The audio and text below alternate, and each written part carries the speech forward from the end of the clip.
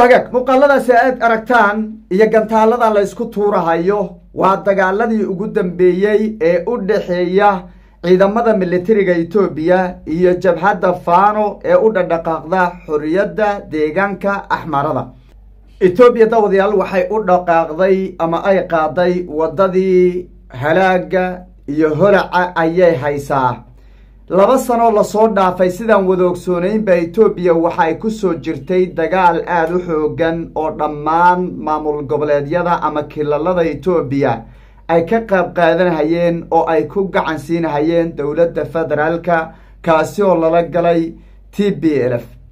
Haddana waxay haysaa waddo kale oo saadalayaasha siyaasaddu ay sheegayaan in uu ka xoog badnaan karo kii t b l f laba sano lagula jiray ee ka socday gudaha dalka etoobiya warbixinteenna waxaan rabaa marka inaan ku eegno dagaalkan horta asalkiisa muxuu yahay xaggee ka soo bilowday ujeedooyinka ay hadda axmaaro u dagaalamaysa ay ula dagaalamaysa dowladda federaalku muxuu yahay xaggee la kala marayaa deegaanka axmaarada yaa gacanta ku haya.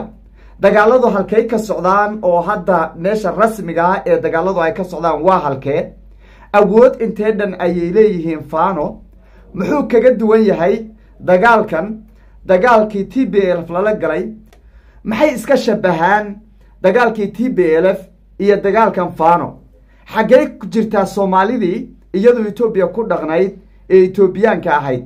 Xaggey la safan tahay. Maxayse ka dhaheen dagaalkan dowladda federaalku ay cilaamisay ee dhammaan kilalada etoobiya etoobiya ay ka qayb qaadanayaan ee ay taageereen dowladda federaalka kala sarraynta sharciga iyo soo afjaridda kooxahan fano. Waxaan rabaa inaan muuqaalkeennan aad kaga bogotaan qaabka dagaalkan uu ku bilowday. Meelaha hadda la kala marahayo awoodaha ay labada dhinacba soo bandhigeen iyo guulaha ay kala sheeganayaan iyo goobaha hadda lagu dagaalamahayo iyo waxyaabaha iska shabahaan t b l f iyo axmaaro waxay iska shabahaan. Ayaan rabaa inaan si fiican u dul istaagno hadduu eebeydno muuqaalka lagsano shargareeya oo la wadaaga asxaabtiina kaleeto. Sidaan wada ogsoonaynba etoobiya sanadihii la soo dhaafay waxay ku soo jirtay dagaal xoogan oo u dhexeeyey t b l f iyo dowladda federaalka etoobiya dagaalada labada sane soo socday ee t b l f iyo dowladda federaalka u dhexeeyey boqolaal kun ayaa ku dhintay. Malaayiin qof baa ku barakacday. Ugu dambeynna wuxuu ku soo dhammaaday in abiye axmed oo hogaamiya dowladda federaalka etoobiya iyo t b l f raggii waxa weeye ka hor imaadsanaa ee dagaalka kula jiray in heshiis ay ku dhammaystaan ayna noqdaan labada saaxiib ee iskugu dhow. Iyadoo weliba aan la soo hadal qaadin kumanaankii qofee dhintay boqolaalkii barakacay silciyo saxariirtii ka dhacday gudaha etoobiya daarihii burburay wixii jab ahaa ee labada dhinacba soo kala gaadhay aysan jirin cid lagula xisaabtamahayo. Heshiis buuxo oo duuduub ah ayay gaadheen waxaana hadda weeye labada saaxiib ee iskugu dhow etoobiya ee hadda ka wada arriminahaya weye waxaa heshiiska kadib bilowday dagaal axmaaro ay cilaamisay iyo xanaaq ay ka xanaaqday heshiiska t b l f abiy axmed uu la galay. Axmaaro halkaasay dagaalkeedu ka bilowday. Jabhadda fano ayaa dhadhaqaaq bilowday. Kadibna waxaa jabhadda fano ay gacansaar layshay oo ay garab ka heshay ciidamadii new booliska ee deegaanka axmaarada oo dowladda federaalkan ay soo gabagabayntai heshiiskii t b l f ay ku dhawaaqday in hubka dhigis lagu samaynayo dhammaan ciidamada gaarka ah ee dowla deegaanada etoobiya ciidamadii axmaarada ee new booliska dhammaantood iyagoo hubkoodii wata saanadoodii wata ciidankoodii iyo diriiskoodii wata ayaa waxaa la sheegay inay gebi ahaanba ay ku biireen jabhaddii fano ee dagaalka cilaamisay ee ka hor imaatay heshiiskii t b l f ay la gashay dowladda federaalka. Axmaaro heshiiskaas waxay u aragtay inuu yahay mid halis ku ah jiritaanka shacabka deegaanka axmaarada. Waxay u aragtay mid iyaga saaxadda siyaasadda looga saarayo. Waxay u aragtay mid iyada deegaanadeeda lagu qaadanayo. Waxay u aragtay mid iyada ay xukun ku waayi doonto oo waxa weeye sheebawarinku keliya uu noqon doono t b l f iyo oromo oo uu ka soo jeedo ra'iisul wasaaraha dalka etoobiya abiy axmed. Si kastaba dagaalo ayaa bilowday. Bilihii ugu dambeysay dagaalo lagu halaagsamay ayaa socday. Deegaano badan ayay soo qabsadeen jabhadda fano. Oo ugu dambeyn hadda maalmahan waxay gacanta ku dhigeen magaalada gondar. Oo run ahaantii ahayd aas-aaska goobta ayba ka aas-aasantay ama ugu xoog badnayd jabhadda fano. Maalmihii ugu dambeysay halkaasay gacanta ku haysay. Waqti xaadirkan dagaalada meelaha ay ka socdaan magaa waqooyiga magaalada gondar baa ka mid ah oo weliba la sheegayo in gacanta jabhadda fano ay magaaladaasi ay ka baxday oo ciidamadu ay ku taagroonaayeen dagaaladii ugu dambeeyey. Waxaa sidoo kaleeto dagaaladu ay ka socdaan magaalada bahardaar oo inta badan jabhadda fano ay gacanta ugu jirto. Weliba magaalada garoonkeeda ay gacanta ku hayeen maalmihii ugu dambeysay balse saacadii la soo dhaafa la sheegaya in ciidamada militarigu ay garoonka dib ula wareegeen. Laakiin inta badan magaalada jabhadda ayaa gacanta ku haysa. Magaalada dhabra birham iyadana gacanta waxaa ku haya jabhadda fano magaalada waxa weye magaalooyin waaweyn oo dhese ay ka mid tahay ayay ciidamada jabhadda fano ay gacanta ku hayaan. Guud ahaan waxaa la dhihi karaa inta badan magaalooyinka waaweyn ee deegaanka axmarada waxay gacanta ugu jirtaa jabhadda fano ayay gacanta ugu jirtaa. Jabhadda fano horaantii dagaalku u bilowdayba waxa ay bilaabeen inay soo bandhigaan guulo waaweyn oo ay ka gaadheen ciidamo aada u badan oo ay gacanta kaga dhigeen kuwa militariga hub aada u badan oo ay ku qabsadeen xeryihii waaweynaa ee kaydka hubka ee ciidamada militariga ee ay ku lahayeen deegaanka axmarado ay gacanta ku dhigeen. Garoomadii waaweynaa ee magaalooyinka waaweyn ee deegaanka axmarado ay gacanta ku dhigeen. Bale maalmihii ugu dambeysay weliba waxaa aad iyo aad looga cabsi qabay in caasimada adisababa ay soo galaan. Sababtoo a magaalo afartan kilomitr u jirta caasimada ayay gacanta ku dhigeen aad ayayna ugu soo dhawaadeen magaalada caasimada ee dalka etoobiya adisababa si kastaba maalmo ka hor golaha wasiirada dowladda federaalk oo fadhiistay iyo weliba guddiga amniga ayaa waxay soo saareen in sida ugu dhaqsiyaha badan tallaabooyin la qaado la soo afjarana kooxahan argagixisada ay dowladda federaalk ugu yeedhee fano. Waxay sidoo kaleeto sheegeen in kala sarreynta sharciga dib loogu soo celiyo gacanta dowladda federaalka. Tallaabooyinkaasi kadib waxaa bilowday ciidamada militariga la howlgeliyo waxaana dhowrkii maalin ee ugu dambeysay.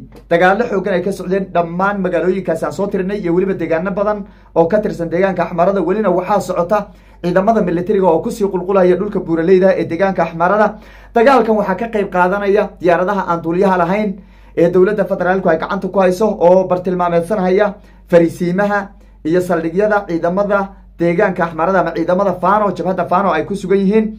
Waxaa shalayto jabhadda fano ay soo riday diyaarad helicopter ah oo iyadana ah midda militariga oo loo malaynayay in diyaaraddaasi ay ahayd diyaarad ama duubaysa goobaha ay ku sugan yihiin ciidamada jabhadda fano. Sidoo kalena iyadana wararka qaar ay sheegayaan in diyaaraddaasi ay waday ciidamo militariga si kastaba diyaaraddaasi shalay ayay soo rideen.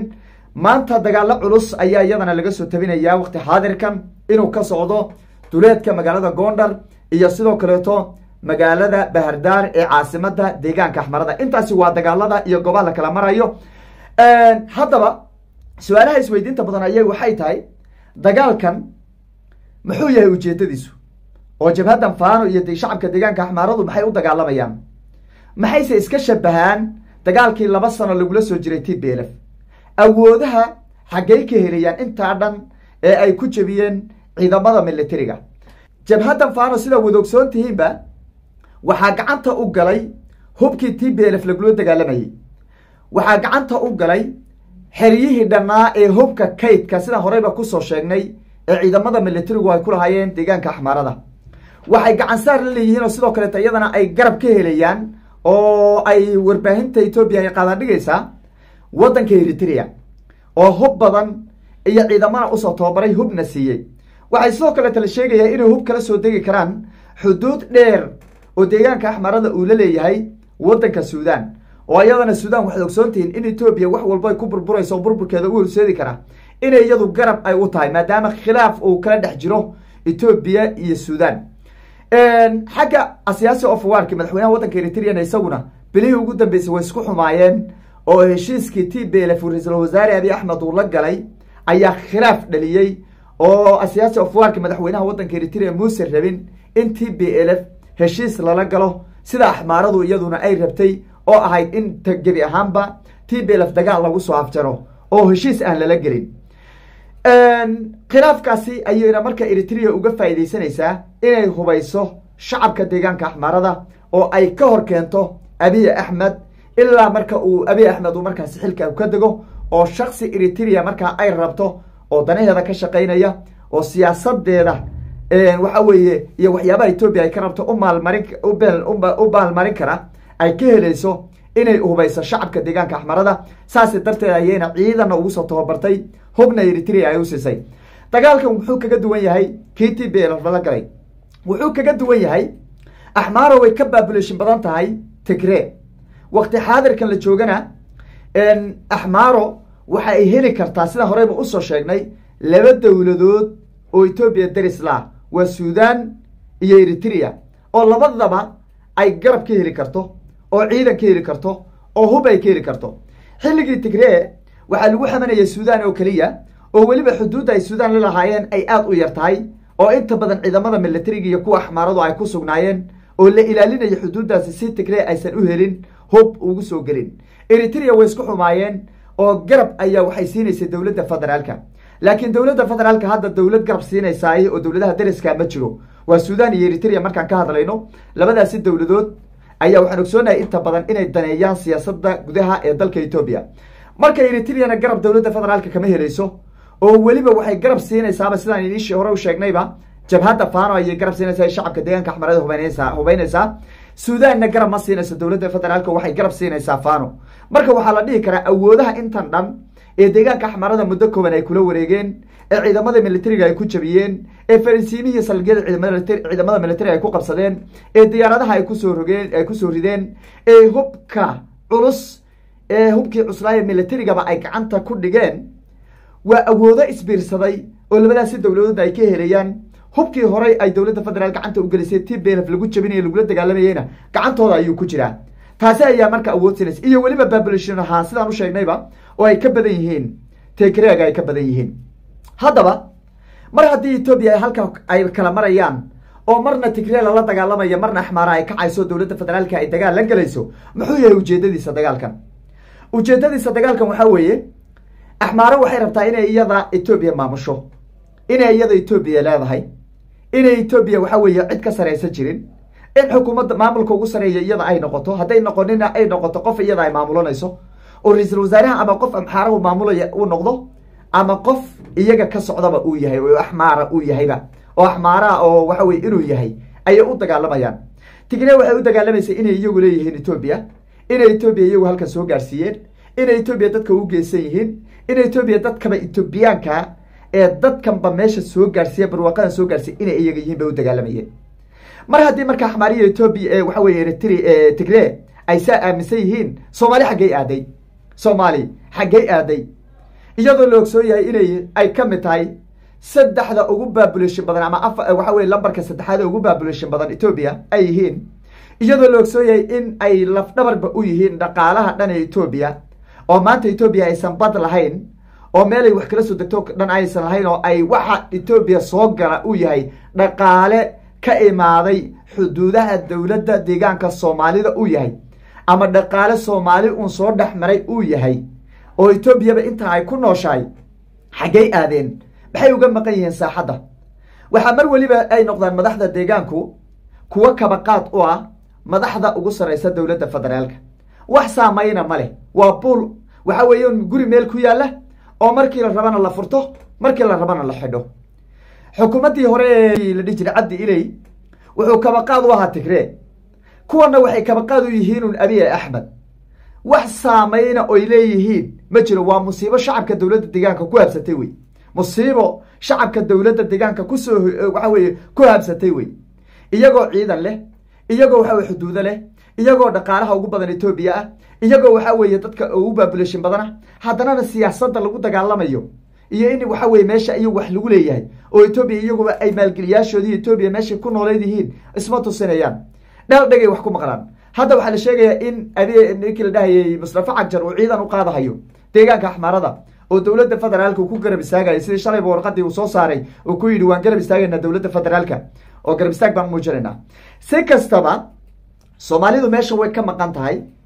Waxa laysku haystana waa anaa ku xukumi iyo ima xukumi kartid. Anaa ku xukumi oo dhalka dhulka iskale iyo adigu ima xukumi kartid. Intaasaa laysku haystaa laakiin si kastaba dagaalkan maanta socda waa dagaal ka culus kii tigree lala galay waa dagaal ka saameyn badan doono waa dagaal waxa weye khatartiisa leh.